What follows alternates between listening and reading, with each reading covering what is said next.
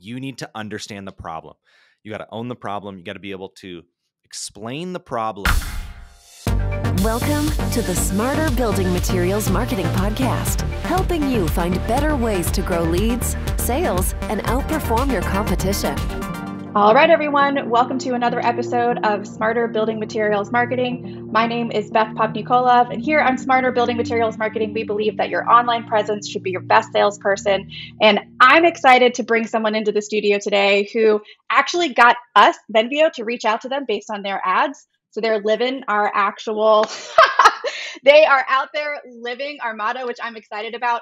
Um, imagery is one of the main pain points that we know people in the building materials world run into. So, whether you're in the installer category and having to catalog, advertise for yourself, keep track of your projects, or on the manufacturer side and in desperate need of being able to showcase your product in a built environment, this is something that we talk to manufacturers and companies about all the time. So, we are bringing someone on the show today who is basically on the front lines of that and working really hard to solve it. I don't know if that's too lofty for you to feel comfortable with, Luke, but we're That's excited. way too small. We'll try to lower the bar. But we're excited to welcome Luke Hansen to the show. He is the founder and CEO of CompanyCam. Luke, thanks so much for your time. Welcome to the show. Glad to be here, Beth. This I think is going to be a lot of fun. So yeah, we we uh we work with a lot of contractors and builders and then I know with your stuff in marketing like i i used to run marketing at my family's roofing company it's kind of how i got into the uh, technology the building technology space let's say and i love good marketing It makes me really happy and it also makes me happy to see people do bad marketing because that's like more for us right it's just like yeah uh, it's like That's oh good. i was telling one of our people the other day that like I was like trying to use some app and it was really badly designed. Like it looked really pretty, but then it was impossible to use. And I was like, oh, this is painful, but it's kind of this reminder that it's like actually hard to make things good. Like it, it takes a lot of knowledge, a lot of work.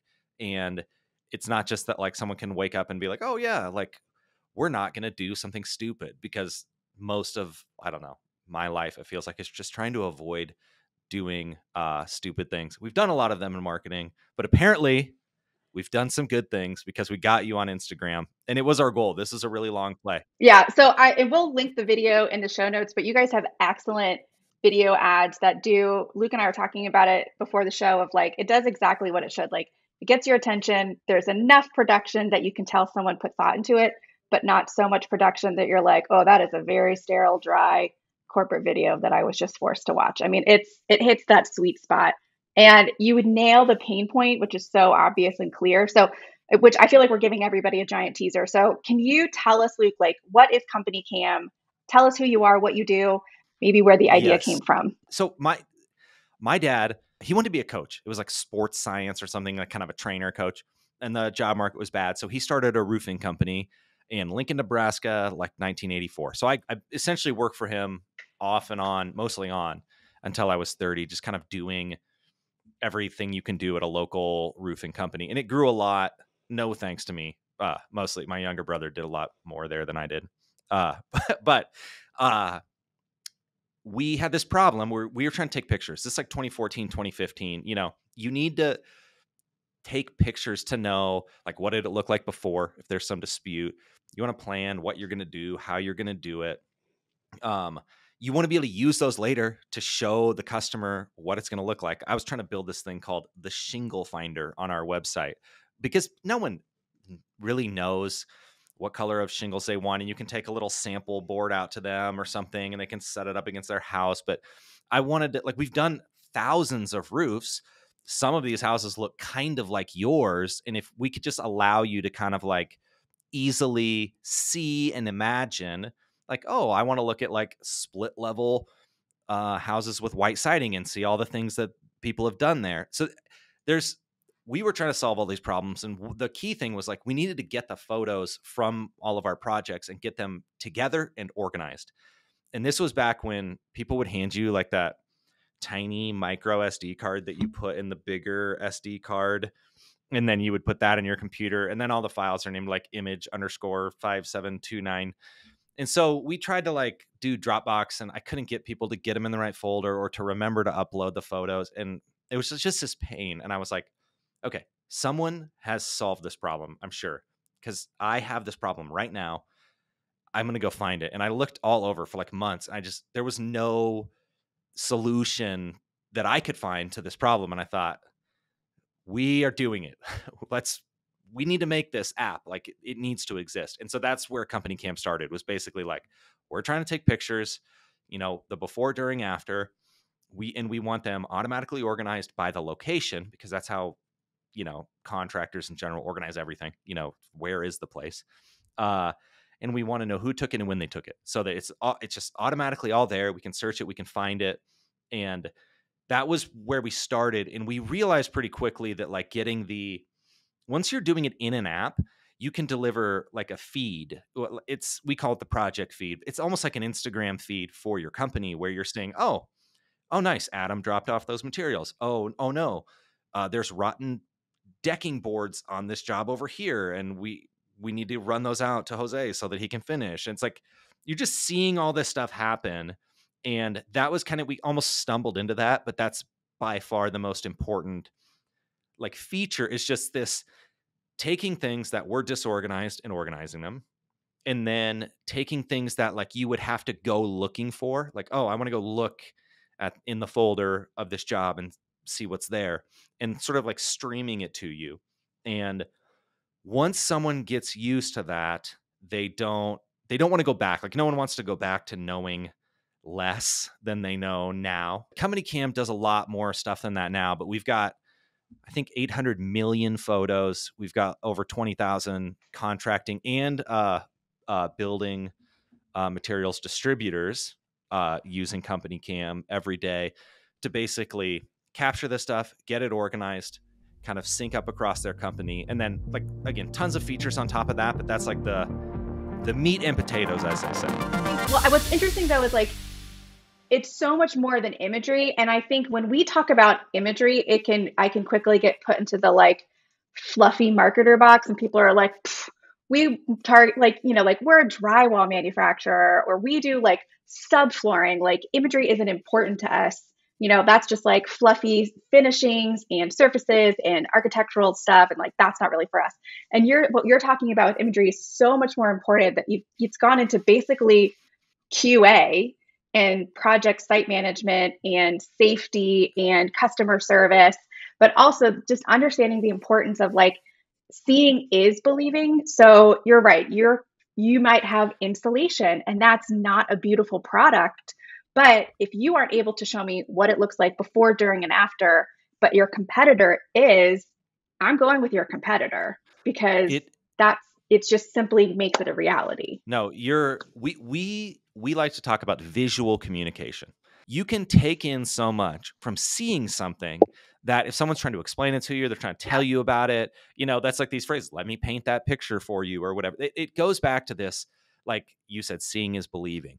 And when you're out in the world, uh, like building things, cleaning things, fixing things, you know, you're you're like you're manipulating the physical world. It's not it's not like you're making a document or something. You know, like the way to communicate the most with that is with a picture, a video, something that just shows it to you, and you can have a hundred questions in your mind that it would take us 30 minutes to go through. But if we can just look at it then we can align really quickly and have like this much more like a shared understanding. And so, you know, I was talking about capturing and getting it organized. Um, and then the real time element of seeing it all happening. It, it really goes down to this like effective communication. The fact that uh, when when we can all see it, then we can get on the same page way mm-hmm. faster, mm-hmm. and we don't like we it, it just solves so many problems that you didn't know you had and this is like a little bit into like the sales pitch territory but you know everyone knows they need to do marketing or that they need accounting software or things like this no one's googling visual communication and daily accountability for contractors you know they're, they're not looking for that but it really is that people see it they they start using it and then it really makes sense. One of our biggest customers is a big uh, materials distributor and they don't want to have disputes with their contractors of whether they left xyz or where it was put um, and they want to know right away like so when they get a call at the office, they can be like, oh yeah, those are sitting behind the left side of the garage or whatever. Like, and it, it does span across. I mean, not just roofing. So we have a lot of companies that are roofers, but you know, it's it, it's really any anyone who goes to a job site um, needs this. But we try to permeate that visual communication through everything, like those ads that you were talking about. Um, we call them floaty ads, and it, it but it's it's kind of showing our app and explaining the problem and my face is kind of like bouncing around and i'm talking about it.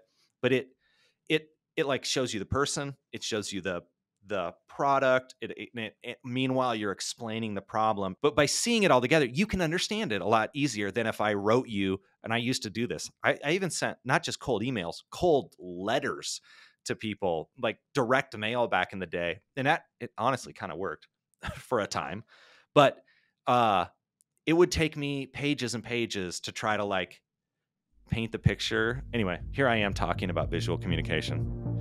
I, I, on a podcast. The yeah, on a podcast. Don't worry don't worry, don't worry. i want to stop there because i feel like first of all i feel like in the beginning of the episode as you're talking about imagery and organization i'm seeing all of our listeners heads just like nod along and be like oh yeah this is really hard. Like this is totally a thing that's a pain for us.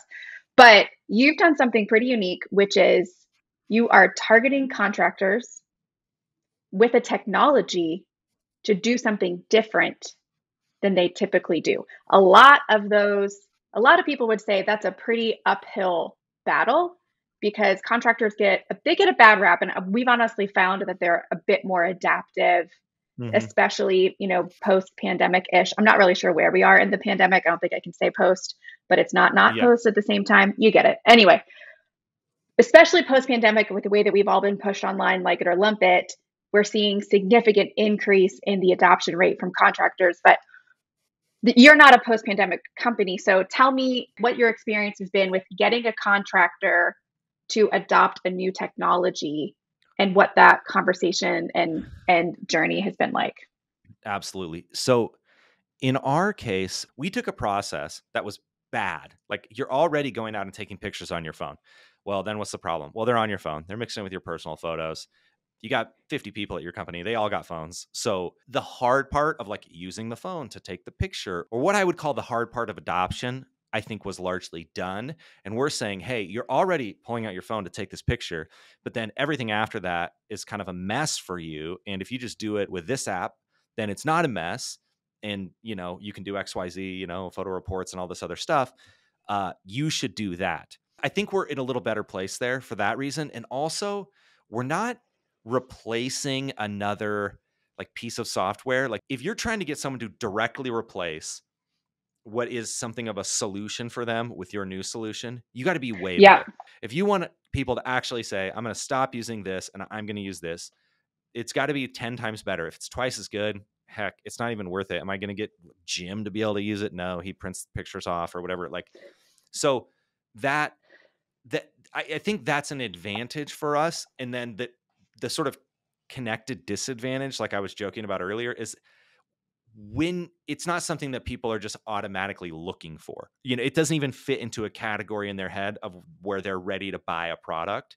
You can tell me all about your product, but like like seeing it, seeing it um, installed, seeing happy people, seeing the difference in kind of like comparisons. There's just so many ways that you can kind of like do this visual communication well and people will look at pictures all day like that's uh, from when i was selling i used to do sales for my dad's roofing company and i could show up at your house and you don't know whether how you want the chimney flashing done or whether you like your uh, gutter apron this way or that way. But if I show you two pictures, you can be like, oh, I like that. And you don't have to know anything about anything to be able to tell the difference between old and dirty and disgusting and nice and new and clean. And everyone can just see it. We have all these opinions about things that we can see that we couldn't even explain why we why we think them.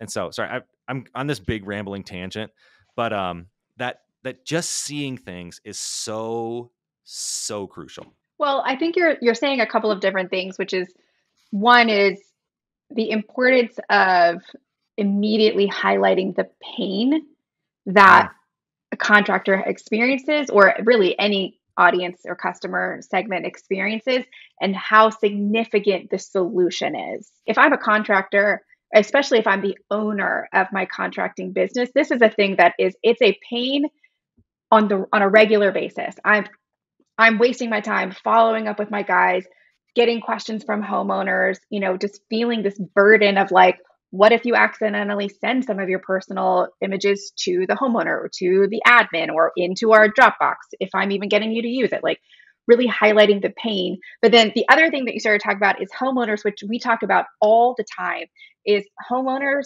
God bless them, are so gung ho about their projects these days, even if it's if they're hiring someone to do the install for them or complete the project for them we know that they they want to have basically as much education as though they were going to do the install themselves. And they're like kitchen great what do i need to know? Cabinets floors sinks done right? And then you get into all this other stuff. And then you go to the exterior homeowners have never heard the word flashing in their entire life.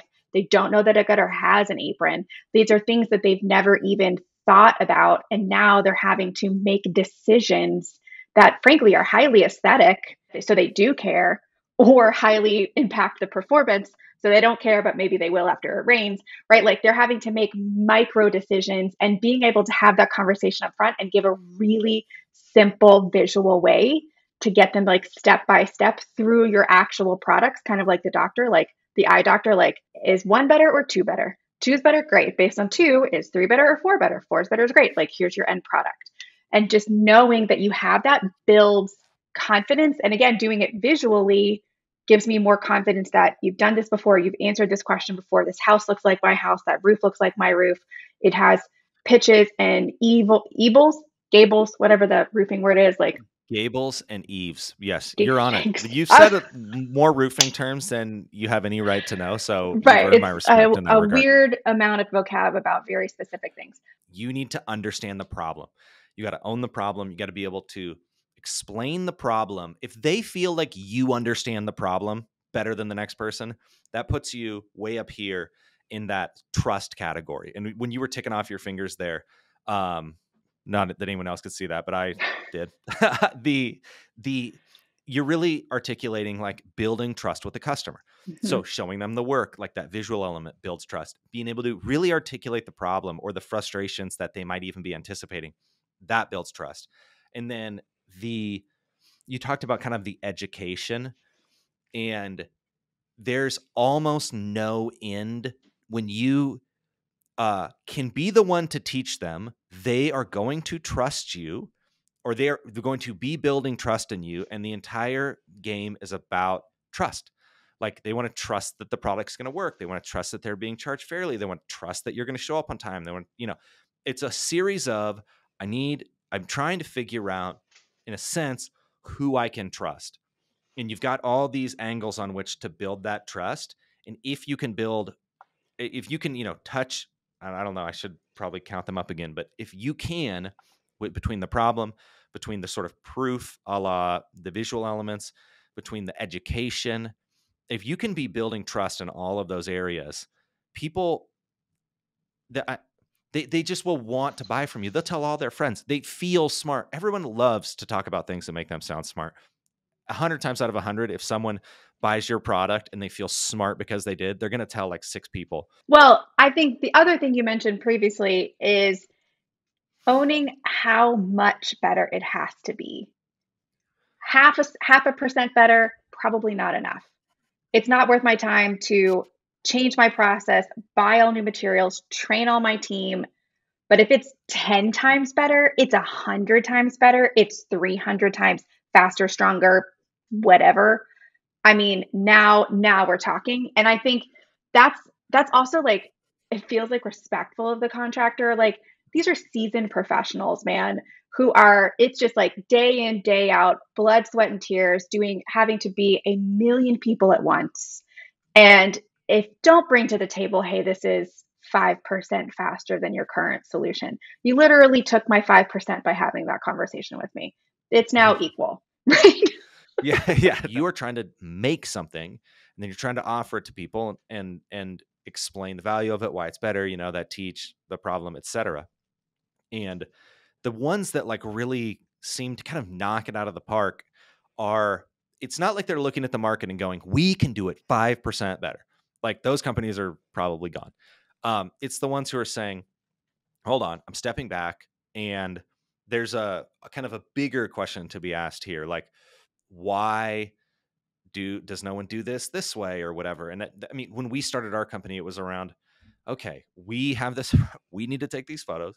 We need them organized by location. We're all carrying around like supercomputers in our pockets with gps and cameras bolted to them. Like why why not solve the problem almost like a, at a like a level higher up? And that's there, there's so many big big opportunities up there I, I actually love that. I think that's brilliant. It's the war isn't won in like the micromillimeters, but it's the it's the three thirty thousand foot view that's like mm, so much of this is broken for so many people.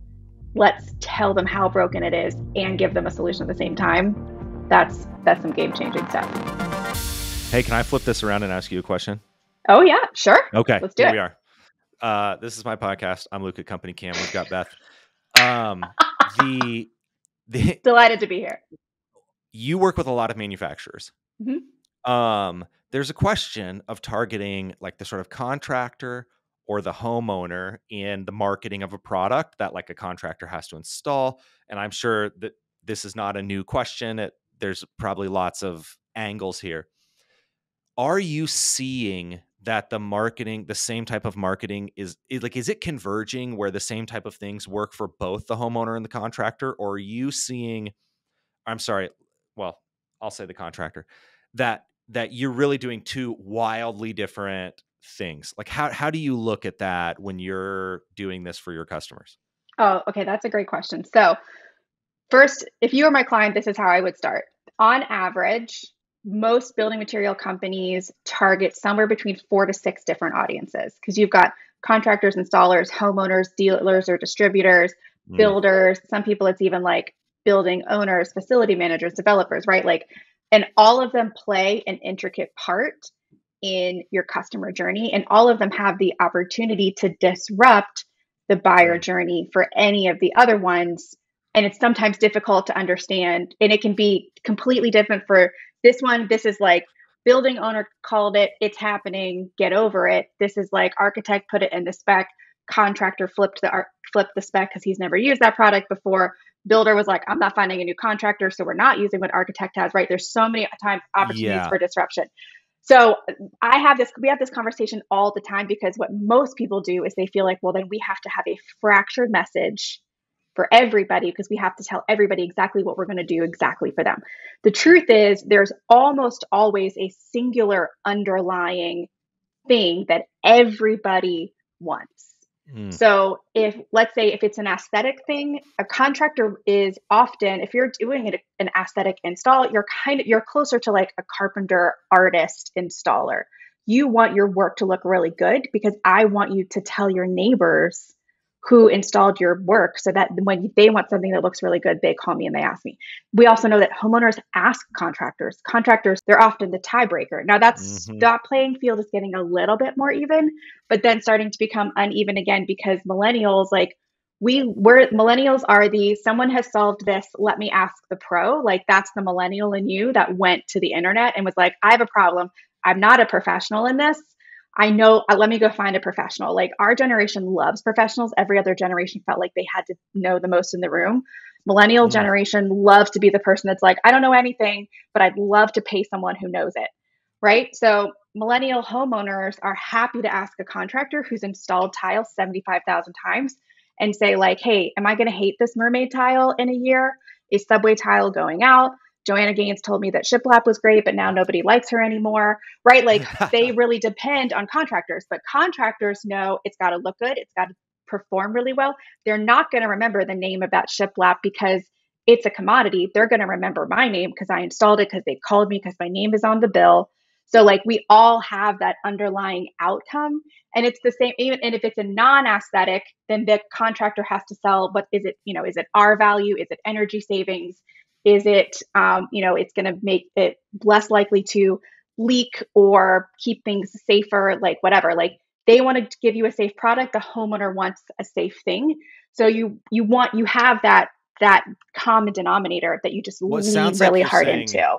it's more about finding that core important Yeah. thing the idea that there's some there's some kind of core element that actually aligns that that that that set of people or not maybe not aligns but the dis, the either decision maker or the the kind of like most important element if you can get that across that can be the thing that kind of that pushes it through versus if it's like this big splintered message and I'm saying like, "Oh, building owner, this is going to last for 50 years. Oh, customer, it's beautiful. Oh, contractor, it's super easy to install." This connects to something I feel like I say around here a lot, which is that it's actually often better to be good to be different than it is to be better. Um, which is that you just have to have an identity that people can understand and remember and people cannot remember your six different traits or No, you whatever. beat the same drum. And that's where like so I think fracture messaging is kind of the cheap seats in marketing because everybody does have a little bit of a different need. But if you take the time to push in one layer further, or like, you know, even ask the five whys, so what do they really all want? I've done I've been doing this for 10 years. I have yet to come to a significant stopping point of like, hold up, no one cares about this. No one but everybody, you know, like half of us care about A and half of us care about B. What do we do? I, I'm telling you, like, I've never come to that point of like, it's so vastly different from customer A to customer B segment that we have to have two messages. If we if we get there, I'm like, mm, then we haven't asked the right questions, and we need to go back because we're all we all build the same buildings and homes that we live in, that we function in, that we're going to do over and over again. It had like there is all almost always that common denominator that we all want to have this same outcome. Okay, sorry. This question to my podcast, then I'll hand it back over to you. Sometimes when you have to choose an identity, you have to land on that thing. That can be maybe more specific to maybe a customer segment or the idea that it, it may not be for everyone, right? Like your inclination is to say, this is for everyone. Everyone wants this. Well, okay, maybe everyone doesn't value um, shininess versus price versus ease of installation or whatever. The idea that like um, actually it's not for everyone, almost certainly. Uh, when you have clients that kind of come to you, is that a battle that you find yourself either fighting or almost like coaching around of like, uh, this is this this idea of like it's for everyone versus no we're gonna kind of hone in on this core thing and we're gonna really really market this to these people who it's like really really made for Yeah. So phase one of when you really start to dig into marketing is you typically what helps us with that is budget. You want to be your everything to everybody all of the time. Great. That's going to be 70 bajillion dollars in order to hit all of those Mm. channels. Oh, we're not at we oh, you don't have 70 bajillion dollars? No problem. Let's talk about what are the best case scenarios. Like where do you where do you absolutely crush it? And you are a hundred times better than your competitor in what type of an environment and what's the result that you can deliver that's really really significant and impactful and show stopping let's start there you know? So that's one. The other thing is that we typically that helps with that conversation is the experience that we all have with looking at reviews.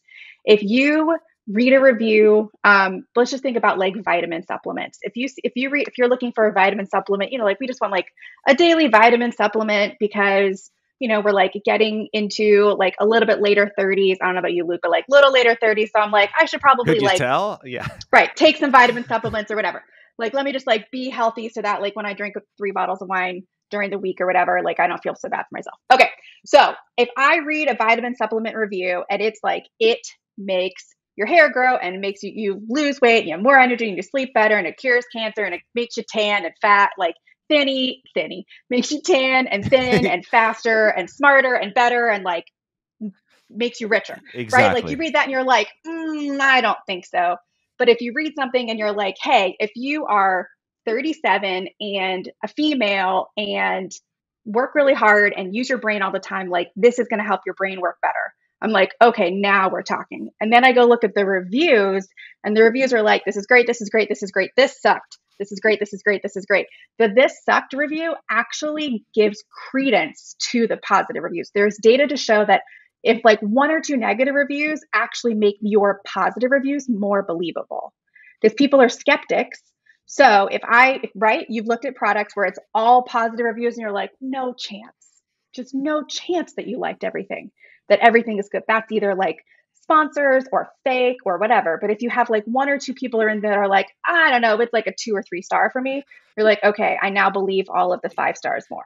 Well, if you think of 20 people that you know, one of them is a misanthrope like always upset about every right. you know like yeah and you're like product, everybody has a bad sucks, day like that guy hates yeah, everything like uh, yeah it's just like you know that that's real and if right. you don't see that manifested on the page then you're like okay they just it just happened to be that the angry people on the internet have never tried right. daily vitamins or whatever. It's like no they definitely have. so something's fishy here. Yeah no you're so you're totally right. Okay beth it's your show again. Uh, right, thanks for letting me flip the tables. okay, so I'm going to ask you one more question before we let you go, Luke. If you could give someone one piece of advice who wants to win over homeowners or distributors and get them to and wants to win their business, what's one thing you would tell them? I would say build trust. Think about building trust by understanding what they value. So we apply our values to other people all the time. Oh, I care about things that are beautiful. So my immediate assumption is like, I'm going to tell you about how beautiful this thing is or whatever. And that it's kind of like sales tactic, but that element of of sort of listening, understanding what they value, which I think is what you were talking about earlier, and then knowing that this decision will be based around trust. That that is the fundamental element here. It's not about how much money it costs. It's about on the angles of which they value, do they trust you? And if they trust you uh, around the value, then they're gonna they're gonna be a customer, sign up, install your product, uh, and you've got to you've got to build that trust. That's good. I love it. Luke, thank you so much for your time. If any of our listeners want to reach out, get in touch, learn more about CompanyCam, what would be the best way for them to do that? Absolutely. So we are at CompanyCam everywhere. I think on Instagram we're at CompanyCam app. I think I just lost the password to the original one. Uh, like no judgment. So no, yep. it's not. We're not second comers. But I my, my, email is just luke at companycam.com. Hey, we partner with tons of manufacturers and all sorts of stuff. So feel free to hit me up for anything. I read my emails. I even sometimes respond. No, seriously though, we're available. Uh, we'd love to hear from you. And Beth, thank you so much. This was really wonderful yeah, thank you for your time. We appreciate it. And if, for our listeners, if you want more great content like this, head to venveo.com slash subscribe. Until next time, thanks everyone.